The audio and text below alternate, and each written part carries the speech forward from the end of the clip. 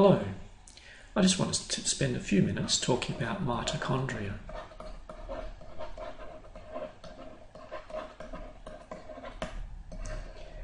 They are a cell membrane bound organelle found in all, many, many cell types, um, nearly universal. And they're responsible for fundamentally the production of ATP. And for cells, that really means energy. ATP is a uh, chemical that allows us to move, to transport electrons around, to provide energy to the chemical processes within a cell. There are other interesting facts about a mitochondria that we'll come to later on. Um, in fact, they are probably my favourite organelle for some interesting, quirky reasons. But basically, their role is to produce ATP. And the fundamental substrate of that, or the requirement for that, is one of the core requirements is oxygen. So, in a sense, when you breathe, your breathing is about providing oxygen to mitochondria. And that is distributed through you through the process of your lungs and the red cells in your body. And here's two interesting photographs to show you of mitochondria. The first one on the on the left here, on this side here, is um, made in a very interesting way with a scanning electron micrograph, uh, scanning electron microscope, to show you the three-dimensional structure of mitochondria, and you can see them sitting here. They are membrane-bound little packets that have these sort of um, divisions within them, cisternae within them, to divide them up.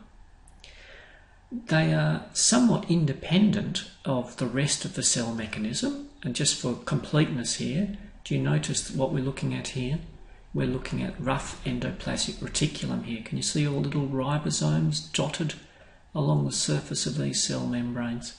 So these mitochondria are embedded in a mass of rough endoplasmic reticulum.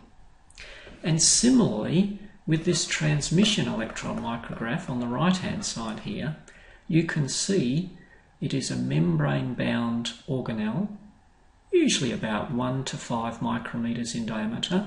Notice that this is not such a good photograph, and in fact, it's my fault. I cut the scale bar off this, so you actually don't know how large this is. But if I told you this mitochondria is about 1 micron or 2 microns in size, and again, you can see these infoldings of the membrane within the mitochondria. Now, inside a mitochondria, there are some complex biochemical processes going on to transport electrons to move it to from to move it to enhance the energy capacity of ADP, in other words, turn it into ATP. And we're not going to go into all of that biochemistry, we just want to see this as an organelle and understand it. Now, at the bottom here, I've written a little note here to remind you all to thank your mum. Your mum is responsible for the mitochondria that you have. Unlike everything else in you, which is derived from your mother and father, your mitochondria are actually from your mother on, their, on her own.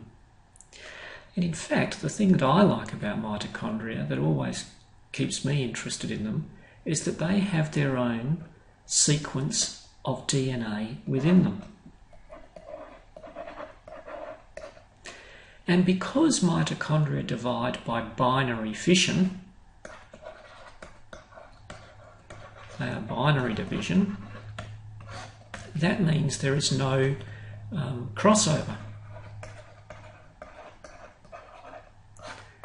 And without crossover, what you're getting in their division is the continuance from parent to child, and then from child to grandchild, etc., etc., down the generation. You're getting a continuance of the information within the DNA, And the only variation you're seeing from generation to generation is that caused by random mutation.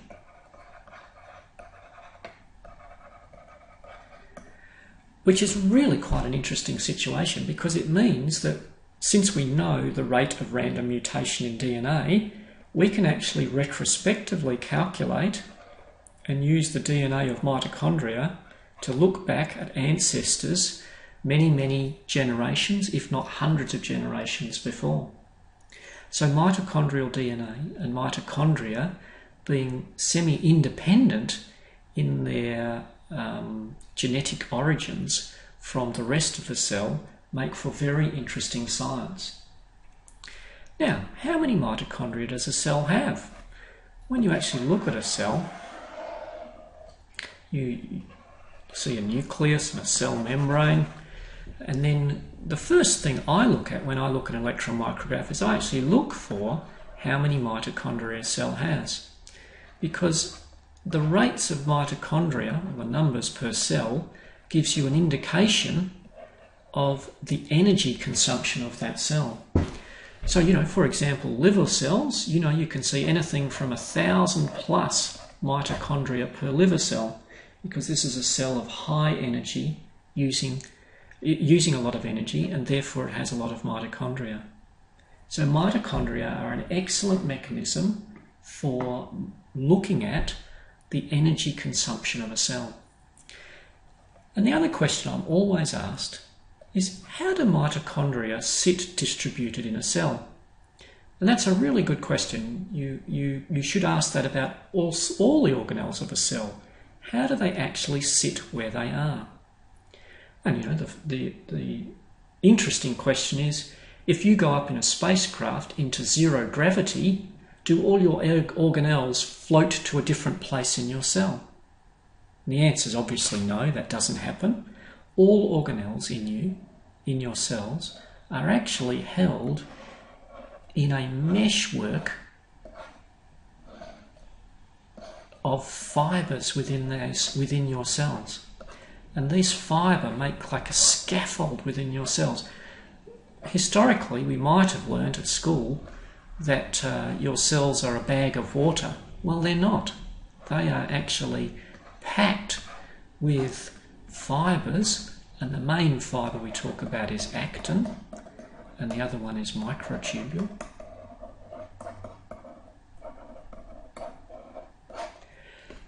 And these fibres give shape to your cell, give it rigidity.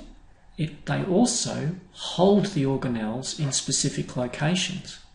Now that's quite interesting because some cells you actually find that the nucleus or other organelles move when it changes function.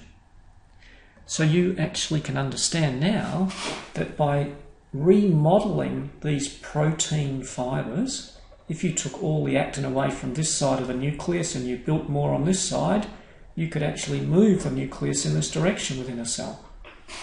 And remember, this is a three dimensional scaffold. So please, don't go away thinking that a cell is a bag of water with organelles floating around in it. They are a complex arrangement of fibres holding organelles in exactly the location that they're uh, expected to be in.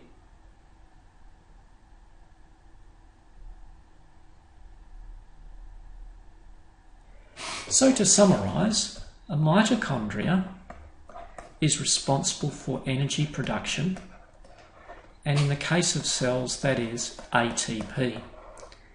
And that energy production is through the consumption of oxygen and other uh, chemicals, and it happens within the different membrane layers in a complex biochemical pathway to move electrons between atoms mitochondria themselves.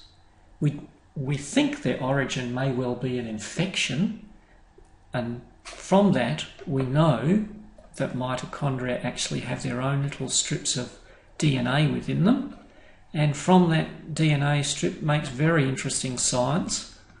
And uh, I'll finish by reminding you please thank your mum and your mum's mum and your mum's mum's mum because they are the responsible people for giving you the mitochondria that you have today.